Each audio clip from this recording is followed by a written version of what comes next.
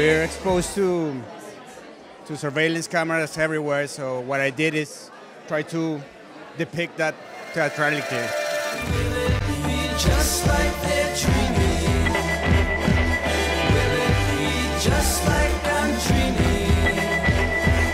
Will it be just like These images are made in places that we dwell and we leave traces all the time behind. So I work as a, as a surveillance camera.